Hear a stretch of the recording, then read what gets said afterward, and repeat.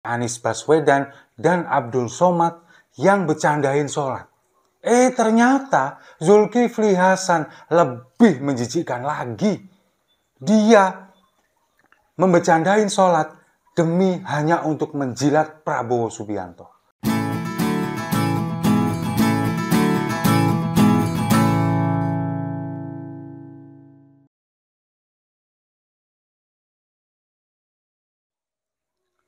Salam damai untuk Indonesia, berjumpa lagi bersama saya Papa Dimas. Informasi, info kali ini datangnya dari Anies Baswedan dan Abdul Somad yang bercandain sholat. Eh ternyata Zulkifli Hasan lebih menjijikkan lagi. Dia membecandain sholat demi hanya untuk menjilat Prabowo Subianto. Tapi sebelumnya kita simak dulu videonya berikut ini. Sekarang di beberapa kantor, itu ghairil maghdubi alaihim waladdallin. Sudah takut bilang amin. Dan saya juga baru sadar tadi pagi bahwa ternyata acara debat tadi malam itu tidak lagi berdoa, mengheningkan cipta. Mengheningkan. Jangan-jangan tasyahud pun sekarang begini aja semua. iya. Masa saya... tasawuf tangannya keluar dua? kan tasawuf satu lah, mau gimana kita? Saya keliling daerah Pak Anu, Pak Kiai, Pak Kiai Toa. Sini aman sini. Jakarta nggak ada masalah. Yang jauh-jauh ada loh yang berubah. Jadi kalau soal maghrib baca Al-Fatihah, walad dolin. Ada yang diem sekarang Pak. Ada yang diem sekarang. Ada Pak sekarang diem. Loh, kok nggak nggak ada? Ada yang diem sekarang banyak. Saking cintanya sama Pak Prabowo itu. Ya kan? Itu kalau tahiyatul akhir Pak Yai kan gini Pak Yai. Tahiyatul akhir kan gini. Sekarang banyak gini Pak. Banyak gini. Sebetulnya ketiga orang ini sama aja. Cuman beda konteks. Kalau misalkan Anies dan Abdul Somad, mereka ini juga bercandain sholat. Nggak pantas memang sebetulnya. Apalagi Abdul Somad ada embel-embelnya Ustadz di depannya. Tapi konteksnya mereka ini adalah kalau misalkan ada sholat, kemudian ada pendukung A, pendukung B, pendukung C, takutnya begini, takutnya begitu. Meskipun itu gak pantas. Tapi ini kemudian tidak menimbulkan gejolak di masyarakat. Meskipun banyak sekali sih sebetulnya yang kemudian kontra dengan hal ini. Tapi tidak terlalu membuat mereka ini kemudian dihujat berbeda dengan yang dilakukan oleh Zulkifli Hasan. Saya bukan belain Anies, bukan belain Abdul Somad. Sebetulnya ketiganya ini sama saja. Cuman Zulkifli Hasan ini lebih menjijikkan karena dilakukan demi untuk menjilat Prabowo Subianto. Sekarang coba bayangkan, kita pahami kata-kata dari Zulkifli Hasan tadi. Dia mengatakan bahwa orang sholat sekarang takut mengatakan amin. Ketika sholat tidak mau mengatakan amin. Karena mereka saking cintanya kepada Prabowo Subianto. Dia bilang begitu. Lalu kemudian dia mengatakan ketika duduk tahiyat. Sudah tidak begini lagi sekarang. Dua, jari dua. Karena apa? Karena saking cintanya kepada Prabowo Subianto. Dia bilang begitu. Dan lebih parahnya lagi, lebih menjijikan lagi, audiens yang ada di sekitarnya tertawa dengan hal ini.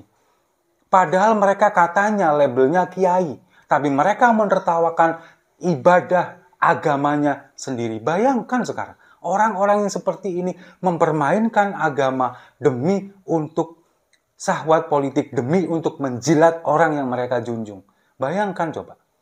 Sekarang begini, kalau misalkan yang disampaikan oleh Zulkifli Hasan itu benar adanya, di mana orang yang bisa seperti itu?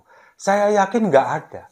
Ini hanyalah khayalan dari Zulkifli Hasan, kemudian juga halusinasi, kemudian dia mengarang cerita hanya demi untuk menjunjung, demi untuk menjilat Prabowo Subianto. Zulkifli Hasan yang seorang ketua umum PAN, kemudian seorang menteri perdagangan, kok bisa-bisanya melakukan hal seperti ini? Sekarang kita main logika saja. Kalau pernyataan Zulkifli Hasan tadi mengatakan orang ketika setelah membaca Al-Fatihah lalu tidak mengatakan amin karena saking cintanya kepada Prabowo Subianto. Lalu ketika orang duduk duduk tahiyat sudah tidak mengacungkan jari satu lagi, tapi mengacungkan jari dua seperti ini, karena saking cintanya kepada Prabowo Subianto, ini apakah bukan berarti lebih memposisikan posisi Prabowo Subianto lebih tinggi daripada Tuhan, daripada sholat itu sendiri? Coba, apakah ini bukan menistakan agama? Kalau bagi saya, ini sangat menistakan agama. Dan bahkan itu agamanya sendiri. Makanya sekarang lagi trending di media sosial, Zulkifli Hasan, Zulhas ini trending sekali. Karena dia dianggap melecehkan sholat. Dianggap mempermainkan agama. Dianggap menistakan agama. Tapi kubu mereka semuanya diam, melakukan pembelaan dan lain macam. Saya melihat beberapa komentar dari akun-akun yang memang terafiliasi dengan mendukung Prabowo Subianto mengatakan hal ini sudah biasa sebetulnya, nggak usah dibesar-besarkan. Toh zaman Gus Dur dulu, bercandaan seperti ini sudah biasa. Sekarang pertanyaannya, tolong tunjukkan kepada saya, mana bercandaan Gus Dur yang pernah mempermainkan sholat, yang mengguyonkan sholat? Mana? Setahu saya belum ada. Tidak ada sampai detik ini almarhum Gus Dur mempermainkan guyonan tentang sholat. Apalagi tentang syariatnya. Tentang bacaan Al-Fatihah lalu kemudian tangan yang menunjuk telunjuknya ketika duduk tahiyat awal dan akhir. Tidak ada. Tapi mereka mengglorifikasi ini mengatakan seolah-olah ini adalah sesuatu hal yang biasa. Sesuatu hal yang tidak perlu dibesar-besarkan. Sama ketika kemarin melecehkan warga Banyumas. Sama, tidak perlu dibesar-besarkan. Padahal ini adalah blunder yang sangat fatal. Nah sekarang kita balik saja. Bayangkan kalau misalkan yang melakukan ini bukan seorang Zulhas. Misalkan orang dari kelompok yang berseberangan dengan mereka. Atau misalkan orang yang minoritas.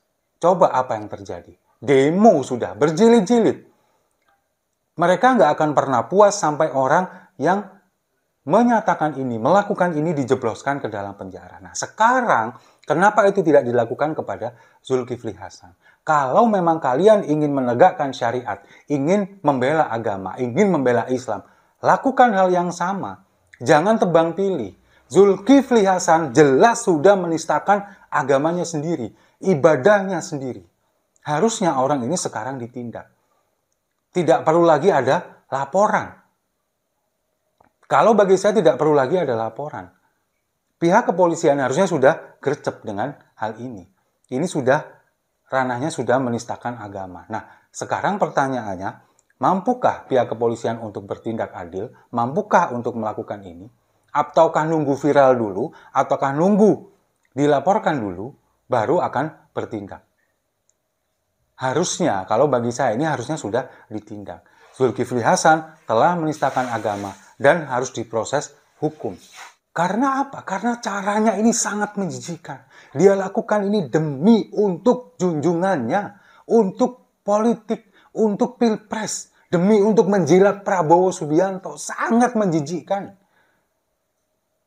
Itu yang kita, saya terutama, semua rata-rata umat muslim yang ada di media sosial ini kemudian nggak terima dengan apa yang disampaikan oleh Zulkifli Hasan. Bahkan di dalam Al-Quran sendiri itu sudah jelas dinyatakan jangan sekali-sekali mengolok-olok, jangan sekali-sekali mempermainkan sholat kalian, jangan mempermainkan agama kalian. Itu sudah jelas. Dan ini dilakukan demi syahwat politik. Saya, Anda semuanya, saya juga merasa, juga yakin bahwa Anda semuanya merasa sangat terhina dengan hal ini, sangat kecewa dan sangat marah. Makanya saya ingin menyuarakan di sini bahwa jelas Zulkifli Hasan telah menistakan agama. Dan sekarang kabarnya ada orang, ada pihak yang sedang marah-marah dengan hal ini. Zulkifli Hasan dipaksa untuk mengklarifikasi, untuk meminta maaf, atau dia didepak, dia ditendang dari koalisi. Itu yang sekarang terjadi. Kita tunggu saja apakah nanti Zulkifli Hasan akan meminta maaf atau kemudian kasus ini akan dibiarkan begitu saja. Tapi yang jelas bagi pendukungnya ini akan tetap dibela, akan tetap diglorifikasi dan mereka tidak akan pernah berani menyuarakan seperti yang dilakukan oleh Ahok dulu. Setuju ya? Kalau setuju mari kita minum kopinya sama-sama untuk agama yang tidak boleh dipermainkan.